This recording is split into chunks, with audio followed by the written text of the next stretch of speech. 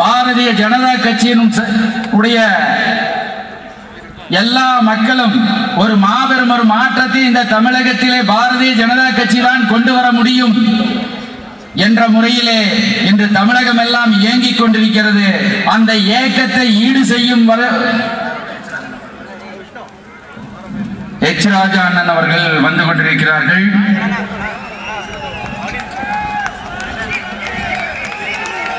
அற்புதமான இந்த சட்டமன்றத்தினுடைய வரைபடத்தை ஒரு மிகப்பெரிய பேக்ரவுண்டிலே வைத்து நாம் எங்கு செல்ல இருக்கிறோம் என்பதை இந்த இளைஞரணி காண்பித்து விட்டது. ஒரு இந்த சிறப்பு வாய்ந்த மாநாட்டை சிறப்புற நடத்தி கொண்டிருக்கக்கூடிய அத்தனை பேருக்கும் நன்றியினை தெரிவித்துக் கொண்டு விடைபெறுகிறேன். வணக்கம்.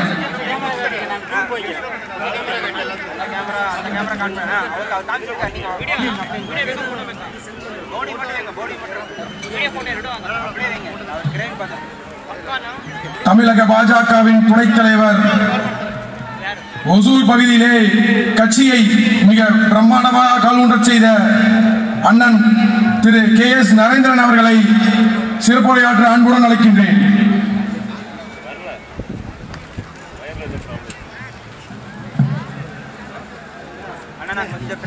பாரதிய ஜனதா கட்சியினுடைய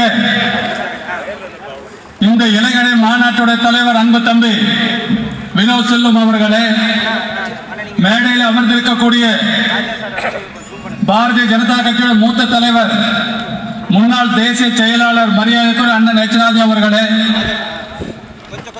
பாரதிய ஜனதா கட்சியோட பொதுச் செயலாளர் இளைஞருடைய பொறுப்பாளர் திரு கே டி ராகவன் அவர்களே கோவை மண்டலத்துடைய பெருங்கோட்ட பொறுப்பாளர் மாநில பொதுச் செயலர் மரியாதைக்குரிய சகோதரர் ஜி கே செல்வகுமார் அவர்களே மேடையில் அமர்ந்திருக்கக்கூடிய இனி இந்த நாட்டை காப்பாற்ற வேண்டும் என்று சொன்னால் தமிழகத்தை காப்பாற்ற வேண்டும் என்று சொன்னால் பாரதிய ஜனதா கட்சியும் பாரதிய ஜனதா கட்சி ஒப்பற்ற தலைவர் நரேந்திர மோடியை தவிர யாவர- எவராலும் முடியாது என்று மிக யோசித்து நல்ல விதமாக யோசித்து பாரதிய ஜனதா கட்சியில் தங்கள் இணைத்துக் கொண்டிருக்கக்கூடிய பாரதிய ஜனதா கட்சியுடைய மூத்த துணைத் தலைவர் மரியாதைக்குரிய அண்ணன் வி பி துரைசாமி அவர்களே முன்னாள் நாடாளுமன்ற உறுப்பினர் மரியாதைக்குரிய அண்ணன் கே பி ராமலிங்கம் அவர்களே மேடையில் அமர்ந்திருக்கக்கூடிய இளைஞர்களுடைய மாநில நிர்வாகிகளே மாவட்ட தலைவர்களே சூரியன் என்ன சுட்டரித்தாலும் கூட அந்த சூரியனை மறைய செய்கின்ற வரையிலே ஓய மாட்டோம் என்று இங்கே கங்கணம் கட்டி வந்திருக்கக்கூடிய பாரதிய ஜனதா கட்சியுடைய இளைஞரணி பொறுப்பாளர்களே தலைவர்களே உங்கள் அத்தனை பேருக்கு என்னுடைய வணக்கங்களை தெரிவித்துக் கொள்கிறேன். இன்றைக்கு சேலம் என்று சொன்னாலே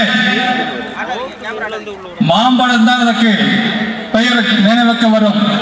இனிமேல் சேலம் என்று சொன்னால் இளைஞருடைய மாநாடு மட்டுமே மக்களுக்கு கவனத்திற்கு வரும்.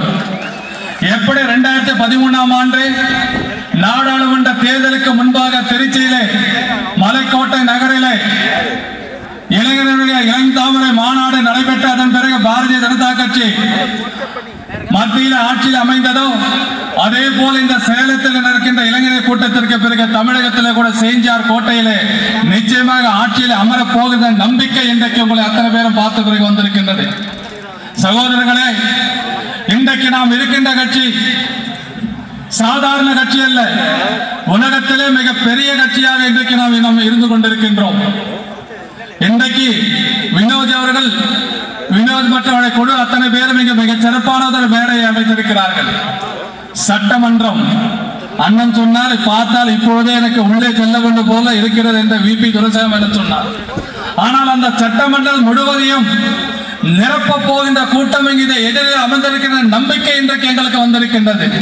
நிச்சயமாக உங்கள் அத்தனை பேருடைய உழைப்பின் காரணமாக சேஞ்சாட் கோட்டை கூட அடுத்து வருகின்ற காலகட்டத்தில் பாரதிய ஜனதா கட்சியுடைய எம்எல்ஏக்களால் நிரப்பப்படும் என்கிற நம்பிக்கை எங்களுக்கு வந்திருக்கின்றது.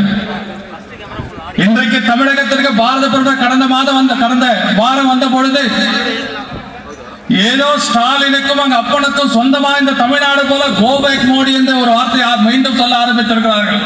ஸ்டாலின் அவர்களே இனியோடு நிறுத்திக் கொள்ள வேண்டும். கோபேக் மோடி என்று சொல்வது அத்தனை பேருக்கும் சொல்லிக் கொள்கிறேன். இனியும் மற்றவர்களை நீங்கள் கோபேக் மோடி என்று சொன்னால் தமிழகத்தில் நீங்கள் இனி இருப்பதற்கு மக்கள் அனுமதிக்க மாட்டார்கள். காரணம் உலகத்தின் ஒப்பற்ற தலைவனாக இன்றைக்கு நரேந்திர மோடி அவர்கள் இருந்து கொண்டிருக்கின்றார்.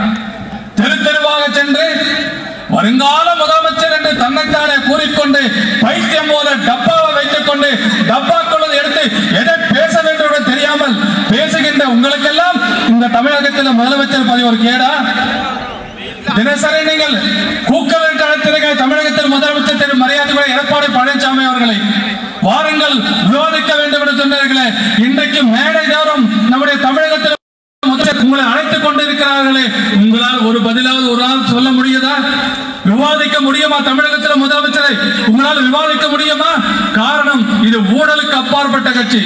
நான் வேண்டும் சவால் விட்டு சொல்லுகிற இந்த கூட்டத்தில் திராவிட முன்னேற்ற கழகத்தில் எந்த ஒரு தொண்டனாவது நடுத்தருவில் ஒரு மேடை போட்டு என் தலைவன் கருணாநிதி லஞ்சம் வாங்கல சொல்ல முடியுமா என்னுடைய தலைவன் ஸ்டாலின் லஞ்சம் வாங்கல சொல்ல முடியுமா உங்கள் உள்ளூர் எம்எல்ஏ லஞ்சம் வாங்கவில்லை சொல்ல முடியுமா உங்கள் உள்ளூர் கார்ப்பரேஷன் கவுன்சில் வந்து லஞ்சம் வாங்கல சொல்ல முடிய ஆனால் பாரதிய ஜனதா கட்சியை சேர்ந்த நான் இந்த மேடையில் இருக்கிற அத்தனை பேரும் எதிர்க்க அத்தனை பேரும் எங்க வேண்டாம் நடுத்தரில் கூட்டம் போட்டு மேடை போட்டு எங்களால் சொல்ல முடியும். என் தலைவன் வாஜ்பாய் ஒரு பைசா லஞ்சம் வாங்கல எங்களால் சொல்ல முடியும். என் தலைவன் அத்வானி லஞ்சம் வாங்கல சொல்ல முடியும். என் தலைவன் நரேந்திர மோடி லஞ்சம் வாங்கல சொல்ல முடியும். ஆகவே லஞ்சத்தை பற்றி பேசுவதற்கு திரு திராவிட முன்னேற்ற கழகத்திற்கும் கூட்டணி இருக்கின்ற காங்கிரஸ் கட்சிக்கும் எந்த தகுதியும் இல்லை ஆகவே வருகின்ற காலகட்டத்தில் திராவிட முன்னேற்ற கழகத்தை தமிழகத்திலிருந்து வேறும் வேறொரு மண்ணும் இல்லாமல் தூக்கி எறிய வேண்டும் அதற்காக இந்த இளைஞரணி உடைக்க வேண்டும் என்று கேட்டுக்கொண்ட வாய்ப்புக்கு நன்றி பாராட்டை விடைபெறுகிறேன். நன்றி வணக்கம். பாரத் மாதா கி ஜெய். தமிழக பாரதிய ஜனதா கட்சியினுடைய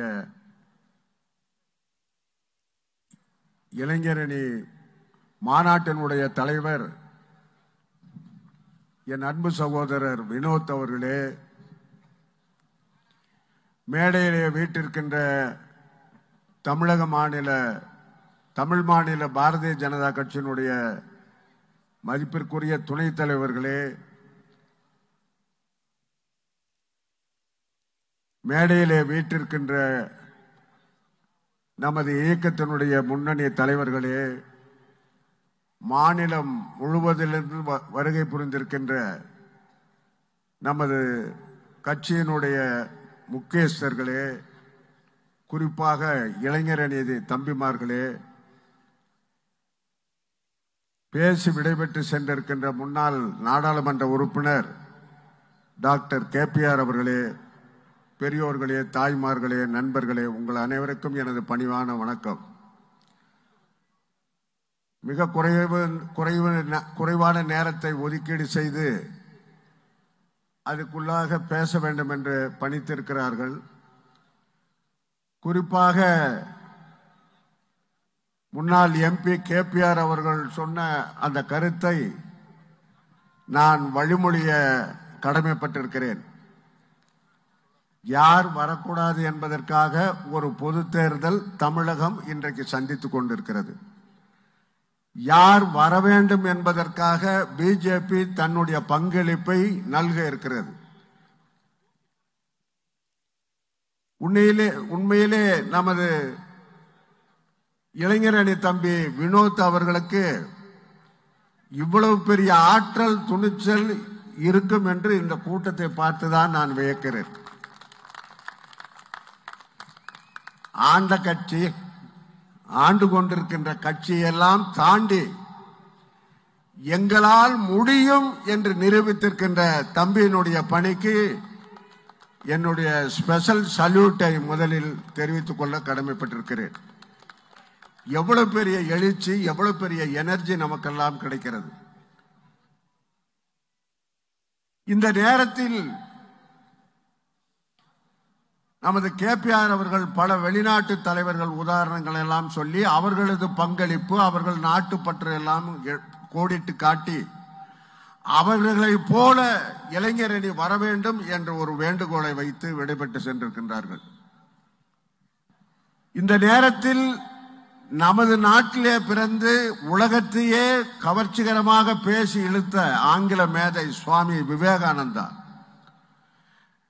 நமது நாட்டில் எட்டயபுரத்தில் பிறந்த பாரத கவிஞர் பாரதியார் அவர்களும் நமது சுவாமி விவேகானந்தா அவர்களும் பல கட்டங்களில் சொன்னார்கள். விவேகானந்தா அவர்களை பார்த்து ஆங்கில நாட்டில் இருக்கின்ற ஐரோப்பியக்காரர்களாம் நீ ஒரு சாமியார். இந்த சமுதாயத்தை எப்படி மாற்ற முடியும்? என்ன உத்தி இருக்கிறது? என்ன பாதை வகுத்திருக்கிறீர்கள்? என்று கேட்டார்கள். எனக்கு பணக்காரன் வேண்டாம். பணம் வேண்டாம். தொழிலதிபர்கள் உறவு வேண்டாம். நூறு இளைஞர்களை கொடுங்கள் இந்தியாவை மாற்றி காட்டுகிறேன் என்று சொன்னவர் சுவாமி விவேகானந்தா.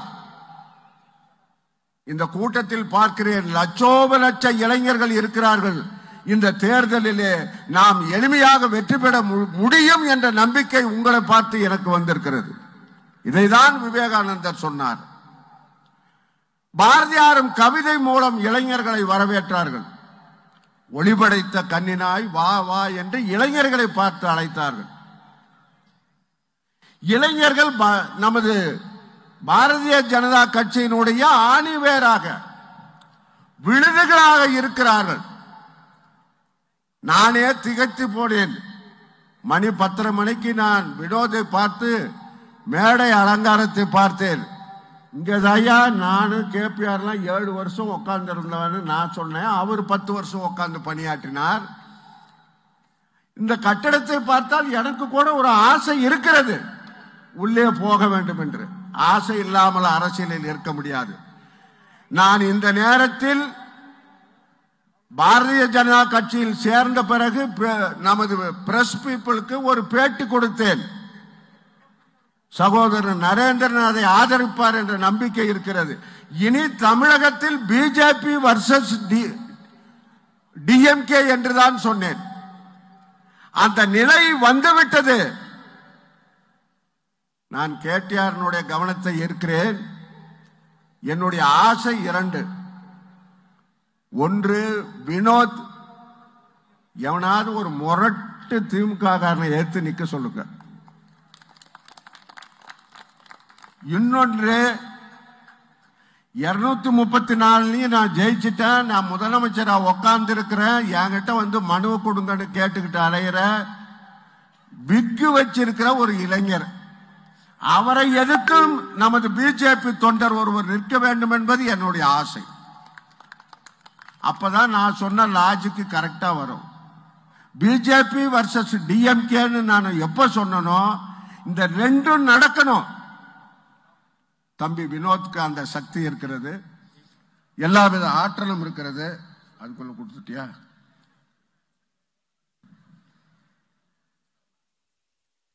யார் கொடுத்தது? அதுக்கு எங்களை பேச விடாம பண்ணிருக்கிறது இந்த நிலையில் பல விஷயங்களை சொல்ல வேண்டியிருக்கிறது. நேரம் என்று நோட்டீஸ் கொடுத்து விட்டார்கள். நானும் கேபிஆரும் இந்த ஊரை சேர்ந்தவர்கள் இந்த ஊர் பகுதி நன்மைக்காக வளர்ச்சிக்காக மக்களுக்காக வாதாடியவர்கள் போராடியவர்கள் பல கண்டன கூட்டங்களை நடத்தியவர்கள் இன்னும் எவ்வளவோ பேச வேண்டியிருக்கிறது. குறைந்தபட்சம் ஒருத்தர் நூத்தி எண்பது சீட்டு ஜெயிப்பேனாரு அப்புறம் இருநூறுனாரு இப்போ இருநூத்தி முப்பத்தி நாலுங்கிறாரு. ஆனா இளைஞர்கள் எல்லாம் ஒன்று திரளணும்னு நம்ம சொல்றோம். அவர் பார்த்தாரு டக்குன்னு போய் லண்டன்ல இருந்து ஒரு விக்க வாங்கி வச்சுக்கிட்டு நானும் இளைஞர் தாங்கிறாரு. நான் சொல்றது உண்மையான இளைஞரை சொல்லுகிறேன். எனவே வாய்ப்பு தந்ததுக்கு நன்றி தெரிவித்து ஒவ்வொரு வருடமும் ஒரு சக்தி இருக்கிறது. அந்த சக்தியை எல்லாம் ஒன்று திரட்டி பயன்படுத்தி சுவாமி விவேகானந்தர் சொன்னது போல நம் இளைஞர்களால் முடியும். இவ்வளவு பெரிய மாநாடை நடத்திய இளைஞரணி தம்பிமார்களுக்கு என்னுடைய பாராட்டுதலையும் வாழ்த்துதலையும் தெரிவித்து வாய்ப்புக்கு நன்றி தெரிவித்து விடைபெறுகிறேன். நன்றி வணக்கம்.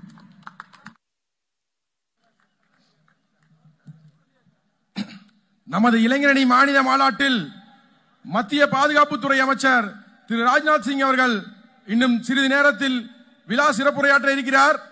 நாமெல்லாம் ரொம்ப கட்டுக்கோப்பான கட்சியோட தொண்டர்கள். தயவு செய்து நடுவில் நிற்கிற எல்லாருமே சேர்ல போய் உட்காருங்க. நம்ம மத்திய பாதுகாப்புத்துறை அமைச்சர் வரப்ப நம்ம ரோடு வரைக்கும் இருந்து மிக பிரம்மாண்டமான வரவேற்பு கொடுக்கணும். தயவு செய்து நடுவில் இருக்கவங்க எல்லாம் அந்த வாலண்டியர்ஸ் கொஞ்சம் ஒத்துழைப்பு கொடுத்து சேர்ல போய் ஃபில் உட்காருங்க. கோயம்புத்தூர் பகுதியிலிருந்து டெல்லி வரை சென்று கொல்கட்டா கேரளா என்று ஒட்டுமொத்த இந்தியாவையும் போராட்டக் களத்தில் அதிர வைத்த இளைஞரணியின் தேசிய துணைத் தலைவர் திரு ஏ பி முருகானந்தம் அவர்களை சிறப்புரையாற்ற அன்புடன் அழைக்கின்றேன்.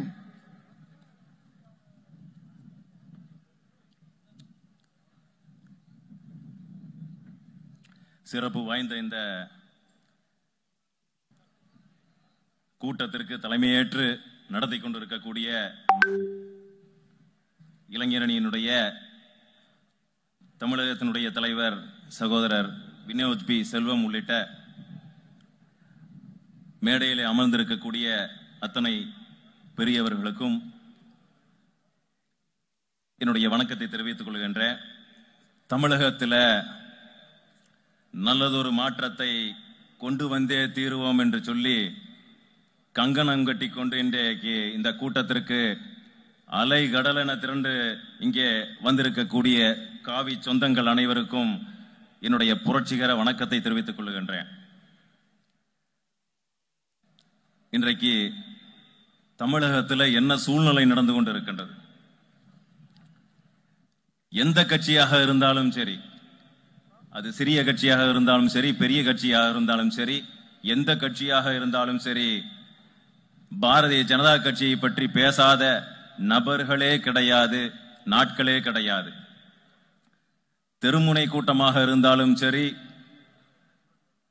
பொதுக்கூட்டமாக இருந்தாலும் சரி அந்தந்த கட்சிகள் போடுகின்ற செயற்குழு பொதுக்குழு கூட்டங்களாக இருந்தாலும் சரி அந்த கூட்டங்களும் அந்த அவர்கள் நடத்துகின்ற அந்த கூட்டத்தில் கூட தொடர்ந்து உச்சரிக்கக்கூடிய ஒரு கட்சி இந்த தமிழகத்தில் இருக்கும் என்று- என்று சொன்னால் அது பாரதிய ஜனதா கட்சி. இன்றைக்கு பாஜக தமிழ்நாட்டில் வளர்ந்து விடக்கூடாது என்பதில் அத்தனை பேரும் முனைப்போடு இருந்து கொண்டு இருக்கின்றார்கள் நம்முடைய பாரத பிரதமரை பார்த்து தமிழகம் மட்டும் கிடையாது ஒட்டுமொத்த இந்தியாவில் நம்முடைய பாரத பிரதமரை பார்த்து நீங்கள் டீ வித்த நபர்தானே என்று ஏளனமாக பேசிக் கொண்டிருந்தார்கள். இன்றைக்கு அதே டீ வித்து கொண்டிருந்த அந்த நபர் தான் இந்தியாவில் இருக்கக்கூடிய பிரிவினைவாதிகளுக்கு தீவிரவாதிகளுக்கு இது போன்ற நாசக்கார வேலைகள் செய்து கொண்டிருக்கக்கூடிய அத்தனை பேருக்கும் இன்றைக்கு பாலூத்தி கொண்டிருக்கின்றார். அதை இங்கே இருக்கக்கூடிய நம்முடைய கட்சியினர் மனதில் வைத்துக் கொள்ள வேண்டும்.